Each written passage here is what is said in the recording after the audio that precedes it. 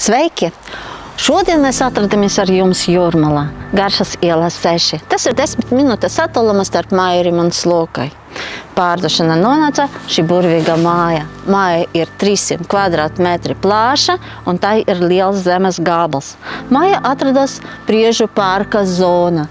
200 metru attālumā no mājas atrodas Lielapa. Nāciet, es jums paradīšu māju. Lūdzu! Maija ir burvīgs plānojums. Tai ir sešas guļamistabas, ir liela viesu istaba apvienotā ar kamīnu zāli un virtuvē.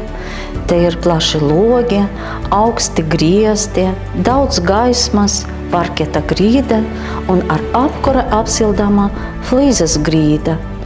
Maija ir divas vannas istabas, trīs toaletes, ģērbtuve, garaža vienai mašīnai un ar malku kurināmais spirts.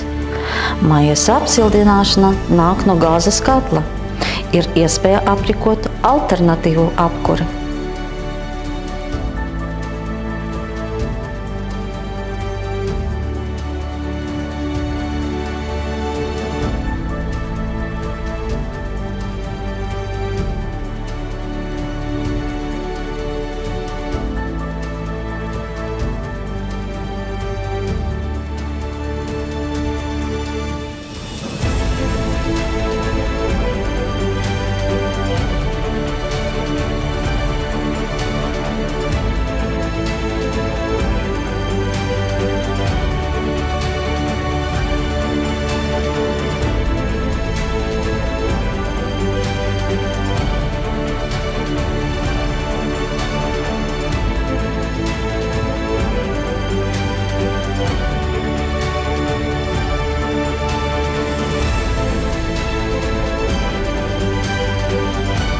Smuki sakopta teritorijā, te ir daudz priežu, ir savs dārzs ar augļu kokiem un krūmiem.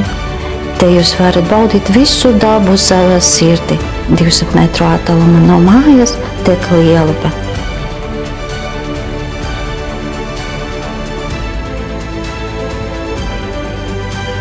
Ja tev iepatikas šis piedāvājums, droši zvani man Anģelai Bartli. Mēs saskaņosim laiku apskatē šai mājai. Jums ir tā laika.